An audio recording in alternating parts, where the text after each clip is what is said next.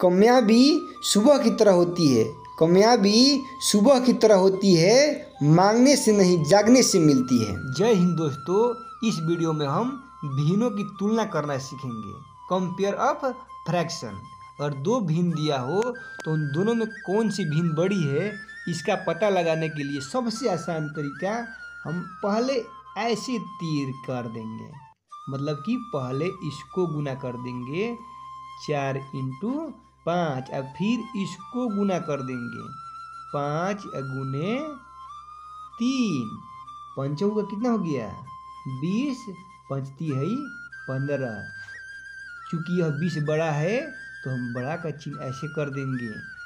ये देखिए दोस्तों, यहाँ पर बीस पहले दिया है ना इधर आ गया, इधर वाला कौन है? तो इधर चार बटा में पाँच दिया है। इधर क्या दिया हुआ है? तीन बटा में पाँच दिया हुआ है। दूसरा एग्ज़ाम्पल लेंगे। लिखा है अगर थ्री बटा में एट और पाँच बटा में छः इन दोनों में कौन बड़ा है? तो पहले तीन में छः से गुणा करेंगे।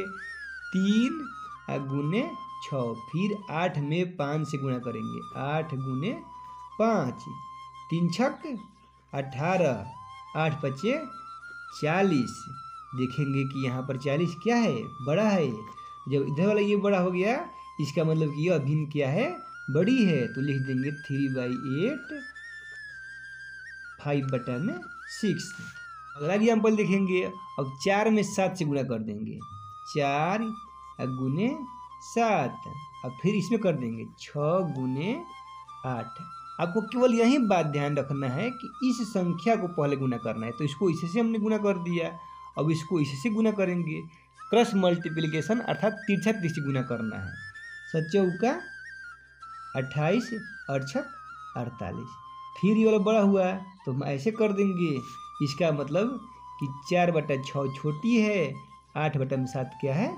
बड़ा है। इस प्रकार भिन्नों की तुलना करके आप बड़ा या छोटा मालूम कर सकते हैं। थैंक यू जय हिंद दोस्तों। नेक्स्ट वीडियो में मिलते हैं।